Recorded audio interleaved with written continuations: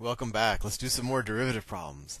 Let's say I want to figure out, uh, let's see, I want to do uh, the derivative d over dx of, and let me give something that looks a little bit different, x to the third minus 5x to the fifth, all of that to the, let's say, third power, over um, let's say it's over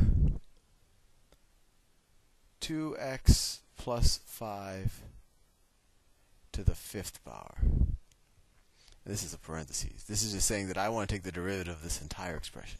So you're saying, Sal, we've never learned how to do this. You have something in the numerator, you have something in the denominator. I don't know what to do next. Well, let's just rewrite this. There, actually, in your in your calculus textbooks, there's something called the quotient rule, which I think is mildly lame because the quotient rule is just the product rule where you have um, where you have a negative exponent and they make it another rule and they, they clutter your brain. So instead of using the quotient rule, we're just going to rewrite this bottom expression as a product and then we can use the product rule. So this is the same thing as taking the derivative of x to the third minus 5x to the fifth, all of that to the third power, times 2x plus 5 to what? Then minus 5 power, right? And now we can use the product rule. Take the derivative of the first term, and the derivative of the first term isn't a joke. You take the derivative of the inside first. Let's do the chain rule. Derivative of the inside first.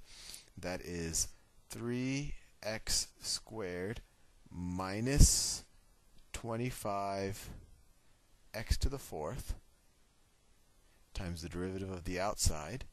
3 times this entire expression x to the third minus 5x to the fifth, and then all of that, take this exponent down 1 to the squared, and then multiply it times this whole term.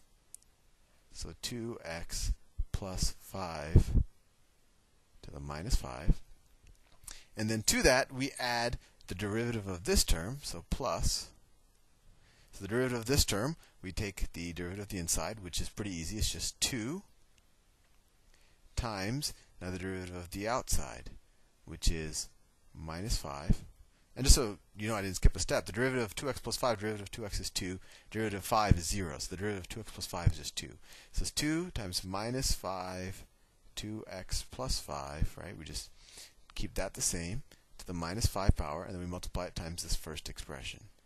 x to the third minus 5x to the fifth to the third power. I know that's really messy, and you'll probably not see problems this messy. But I just wanted to show you that, that the product rule we learned, it's, it's actually uh, the product and the chain rule. They can apply to a lot of different problems. And even though you hadn't seen something like this, where you had a numerator denominator, you can easily rewrite what you had in the denominator as a um, negative exponent. And then, of course, it's just the product rule, and you don't have to memorize that silly thing called the quotient rule. So with that out of the way, I'm now going to introduce you to some common derivatives of other functions. And these things are actually normally normally included in the inside cover of your calculus book, and they're just good to know. Good good things to know. Um, and maybe in a later presentation, I'll actually prove these things. You should never take things at face value. So these are you should to some degree memorize these, although you should prove it to yourself first. So the derivative of e to the x, and I find this to be amazing. e shows up all sorts of crazy places in mathematics, and it's you know the strange number 2.7 whatever whatever, and it has all sorts of strange properties, and I think this is one of the most bizarre properties of e. The derivative of e to the x. If I want to figure out the slope of any point along the curve e to the x, this just might blow your mind. I think the more you think about it, the more it'll blow your mind. Is e to the x. That's amazing. At any point along the curve e to the x, the slope of that point is e to the x. So if I said just just to, just to hit the point home, I, am I'm, I'm diverging a little bit, but if I said uh, f of x is equal to e to the x, right? And let's say f of 2 is equal to e squared, right? And I asked you, friend, I don't know your name, uh, what is the slope of e to the x at this point, at the point 2 comma e squared. And you could say, Sal, the slope at that point is e squared. That blows my mind that it's a function where the slope at any point on that line is equal to the function. And it's e. E shows up all sorts of places. I, may, I might do a whole series of presentations where uh, called the magic of e because e shows up all over the place. I, I don't know if you if you well I, I don't want to diverge too much. So that's pretty amazing. Next, I'm going to show you what I think is probably the the second most amazing uh, derivative, and I don't think this has been fully explored in mathematics yet because it, this also blows my mind. Is that the derivative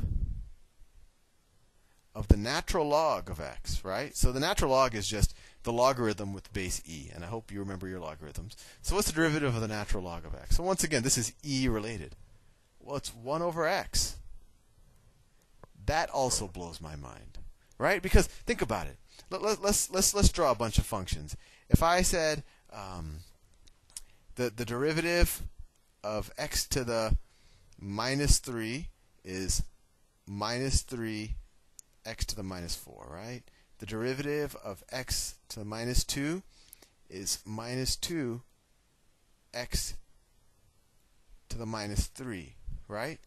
The derivative of x to the minus 1 is minus minus 1 x to the minus 2.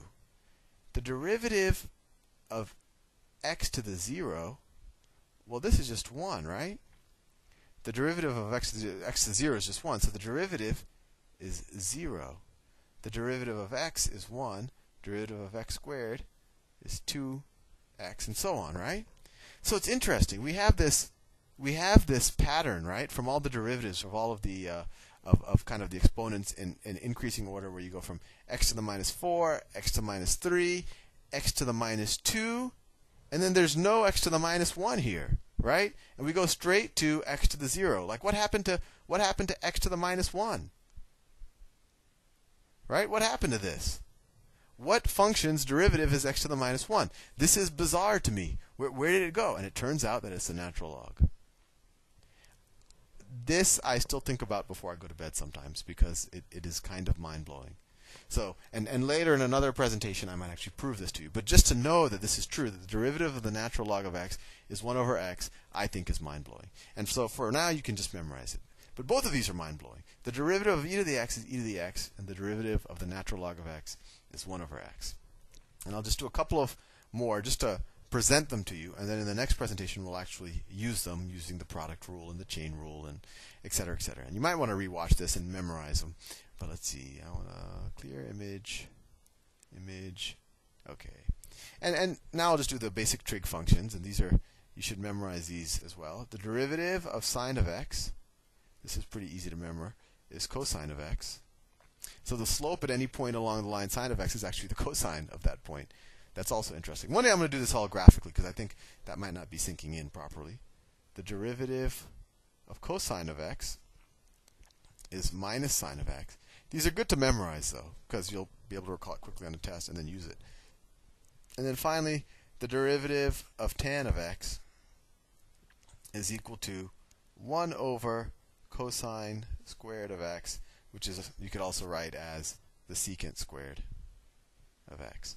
You might want to memorize these now, and and and actually, I encourage you to explore these things. I, I encourage you to graph each of these functions, graph a function, graph its derivative, and look at them, and and and really intuitively understand why the derivative function actually does describe the slope of of the uh, of the original function. And actually, I'll probably do a presentation on that. But I'm almost out of time in this presentation, so just memorize these. Um, and memorize the derivative of e to the x is e to the x, and the natural log of x is 1 over x. And in the next presentation, we're going to start mixing and matching all of these functions, and we can use the product and chain rule on them to, to solve um, kind of arbitrarily complex derivatives. It'll probably, uh, between what we've just seen, we could probably solve 95% of the derivative problems you'll see um, on, say, the calculus uh, AP test. I'll see you in the next presentation.